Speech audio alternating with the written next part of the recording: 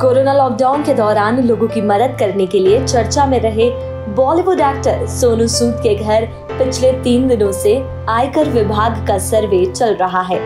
IT department की team का सर्वे शनिवार को भी जारी है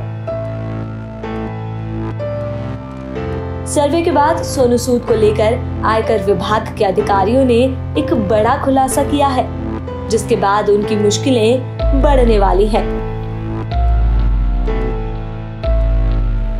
आयकर विभाग ने सोनू और उनके सहयोगियों पर 20 करोड़ रुपए की टैक्स चोरी 2.1 करोड़ रुपए का